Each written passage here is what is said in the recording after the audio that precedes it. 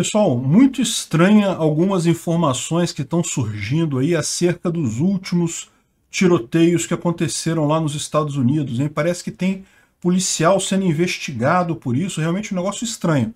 Essas notícias foram sugeridas por Brexit e Eder Senna e várias outras pessoas. Obrigado ao pessoal que sugeriu as notícias. Obrigado a você que está assistindo o nosso vídeo. Se você gosta do nosso conteúdo, por favor, deixe o seu like e se inscreva aqui no canal. Né? Pois bem, vocês sabem, houve um tiroteio é, muito recentemente, anteontem, na verdade, lá em Uvalde, no Texas. A gente falou sobre isso ontem, muito triste. Um cara entrou numa escola primária, matou um monte de criança, né? Mas antes desse, houve dois outros casos de tiroteios ainda no mês de maio.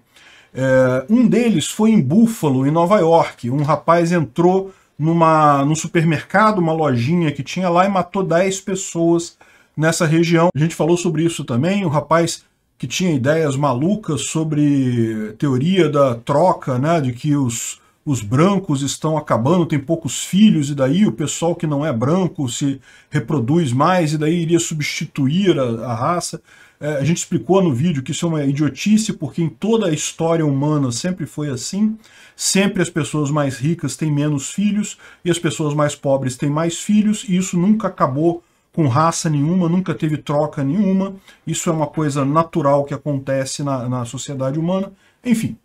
Uh, só que o que acontece? Este outro caso que aconteceu lá em Buffalo, Nova York, com 10 mortos, então não foi o caso da escola no Texas, em Uvalde, no Texas. Né? O que, que acontece? Esse é, atirador de lá ele participava de alguns grupos que discutiam esse tipo de teoria maluca aí da, da grande mudança e coisa e tal, do grande deslocamento e, e coisa e tal, né? E o que, que ele fez? Ele, isso no Discord, ele foi no Discord pouco antes, 30 minutos antes de fazer o tiroteio, ele criou um grupo no Discord para transmitir o que ele estava fazendo, conversar com as pessoas, falar os planos que ele ia fazer e é, convidou uh, algumas pessoas, um total de cinco aceitaram o convite para entrar no grupo e pelo menos seis delas assistiram o planejamento do negócio e o vídeo que ele postou dele fazendo lá ao vivo, fazendo o ataque é, nesse servidor do Discord, né? E daí a polícia quer saber por que, que essas 15 pessoas que estavam, que foram lá, ou pelo menos as seis que assistiram a coisa toda, por que, que elas não reportaram isso para a polícia, né? E uh, uma dessas pessoas era um policial, era um policial do FBI, e eles estão agora investigando que diabo que está acontecendo aqui, né? Porque existe uma teoria desses, desse pessoal, desses tiroteios, porque, repara, a gente vinha já há algum tempo sem ter nenhum grande tiroteio desse, e de repente, ao longo do mês de maio, a gente teve três grandes tiroteios.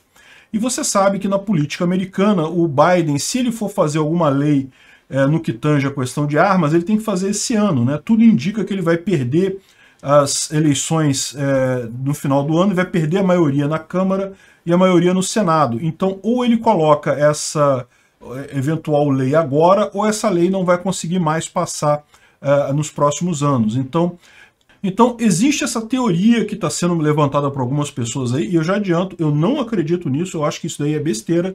Eu acho que tem que investigar o policial, né? Tem que saber o que, que ele estava fazendo ali, porque ele não avisou né, o, resto do pessoal, mas é, é, a, a, teoria que levantaram aí é que talvez esses, é, isso tenha tido, no mínimo, cumplicidade dessas, desses policiais. Os policiais tenham deixado esses tiroteios acontecer justamente com uma motivação política. De novo, eu não acredito nisso. Eu acho que tem que investigar, tem que investigar, lógico. Né? Por que, que o cara não avisou? Tinha que ter avisado, ele estava sabendo que o cara ia fazer uma loucura dessa e não avisou nada, não falou nada, né? Isso em Búfalos, né? E lá, na, na, lá em Uvalde também, né, no Texas, na questão da escola, tem outras questões que foram levantadas, né? O atirador trabalhava como é, em, em lanchonete virando hambúrguer ali, ganhava salário merreca e, no entanto, comprou uma arma por 2 mil dólares à vista. Deu dinheiro lá, pagou lá o negócio lá, a arma, mostrou o recibo dele aqui onde ele comprou a arma, 2 mil dólares. Não é pouco dinheiro não, aqui no Brasil isso daria 10 mil reais. E isso daqui foi só a arma, tá? Tem gente dizendo que ele levou munição também, que tinha mais coisa nesse pacote. Ou seja, no final daria quase 3 mil dólares no total que ele gastou na loja, com um rifle de precisão. Onde é que um cara que vira hambúrguer, que ganha muito pouco, ia juntar dinheiro para comprar esse negócio assim, para um negócio caro desse, né? Enfim, muito estranho esse tipo de coisa. É, outra coisa que o pessoal lembra é que a polícia ficou esperando uma hora antes de entrar na, na, na escola lá em Uvalde. Então, ou seja, repara como é que tudo isso o pessoal está levantando essa teoria de que esses, esses casos teriam sido propositais, ou no mínimo facilitados pela polícia, justamente para criar condições para leis contra armamento civil. Né? Eu, de novo, eu não subscrevo isso, não, não creio que seja isso. É, o, o, provável, o mais provável é outras explicações mais lógicas do que isso. Por exemplo, o cara, uh, o policial pode nem ter prestado atenção, ter entrado lá no, no, uh, no, canal lá do Discord e nem ter percebido que o cara tinha escrito, é uma possibilidade. Uh, a polícia lá que não, não demorou, que demorou para entrar, pode simplesmente ter tido problemas operacionais, não sabia o que fazer estava insegura de entrar na escola, acha um absurdo não ter entrado, acho que tem que investigar isso, tem, tem que investigar. Tem que investigar esse cara também, tem que... por que diabo que ele ficou sabendo meia hora, aliás, são seis pessoas, né? Um deles é policial, os outros não, mas todos os seis sabiam que haveria alguma coisa lá em Buffalo, Nova York, é, um atentado. Então, por que, que eles não avisaram a, as forças é, de segurança, né? Ou será que avisaram e não fizeram nada também, né? Como é que, de onde é que o cara tirou 2 mil dólares para comprar essa arma? Ah, ele pode ter guardado dinheiro durante um tempão, né? Isso é uma possibilidade, né? Enfim. Pode ter pago com cartão de crédito. Ele comprou sabendo que ia morrer mesmo no negócio, então era um atentado suicida, comprou no cartão de crédito. Quem se importa? Não vai, não vai poder pagar, mas. Né? Enfim. O que que. É, tudo isso aqui pode ter explicação lógica, mas aí que tá. O importante desse negócio é você ter a investigação para esclarecer esse tipo de coisa, porque realmente começa a parecer que é uma coisa orquestrada isso daí, esse tipo de coisa, né?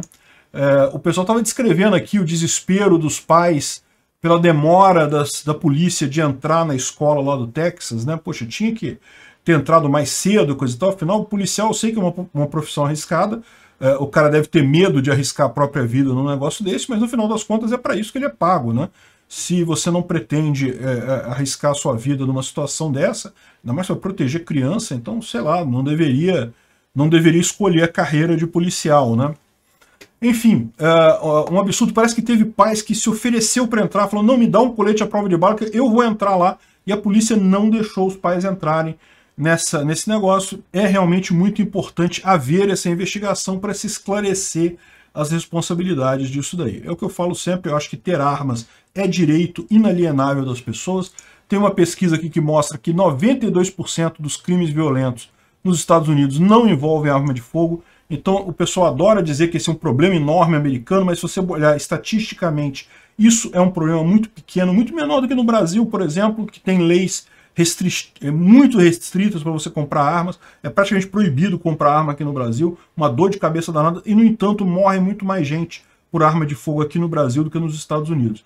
Sim, é lógico, a gente sabe esse tipo de, de evento, de, de tiros em uma escola, isso é algo que chama muita atenção, evidentemente, mas no final das contas, se você for ver a estatística mesmo da coisa, é muito menor. E, de novo, mesmo que tivesse uma estatística alta, isso não muda o fato que é direito das pessoas se protegerem. Seria muito errado o Estado impedir você de se proteger uh, de ladrões, de outras pessoas e até do próprio Estado nesse caso. Né? Enfim, vamos torcer para que tudo isso seja investigado, para que se chegue à indicação efetivamente do que, que aconteceu, quem tem responsabilidade em o que nessa história, é, para evitar o máximo possível que isso torne a acontecer. Né? Eu não acredito que tenha envolvimento da polícia, do FBI nesse tipo de coisa. Obrigado por assistir o vídeo até o final. Além de curtir, compartilhar e se inscrever no canal, considere se tornar patrocinador com valores a partir de R$ 1,99. Clique no botão Seja Membro abaixo para saber as condições e vantagens de patrocinar o canal. Mais informações sobre o nosso projeto, visite nossos sites indicados na tela.